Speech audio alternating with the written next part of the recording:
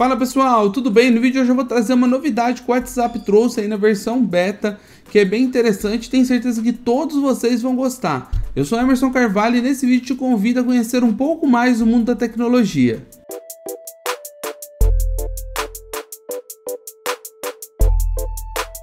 Para poder ter essas funções, você vai ter que vir aqui olha, em configurações, ajuda, dados do aplicativo e verificar se o seu WhatsApp está aí na última versão, que no caso, no momento da gravação desse vídeo, para ter essas funções que eu vou mostrar, é a 2.22.17.15 beta. Se você não sabe como instalar o WhatsApp beta aí no seu celular, eu fiz um vídeo aqui, olha, vou deixar ele aqui na letra I para você poder acessar e ver como você vai fazer para instalar, mesmo com o programa inspirado, tá? Então clica aqui que você vai ter essas informações.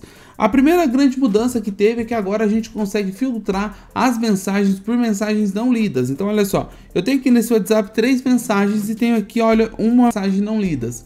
No caso de vocês, provavelmente tem muitas mensagens, né? Então, como que eu vou fazer para fazer esse filtro? Depois de instalar esse WhatsApp Beta, eu clico aqui, olha, no pesquisar e vai aparecer um novo botão aqui que chama não lidas. Se eu clicar nele, ele só vai selecionar para mim as conversas que tem mensagens não lidas, no, no, caso uma só. Eu acessei via mensagem ali, posso voltar, olha só. E agora se eu apertar aqui não lidas, não vai aparecer nenhuma, porque todas as mensagens foram lidas, tá? Então esse é um novo filtro que chegou aí no WhatsApp e que eu acredito que vai ajudar bastante você aí que às vezes tem muitas conversas, às vezes suas conversas acabam ficando para você responder depois e você acaba esquecendo, assim vai te ajudar bastante.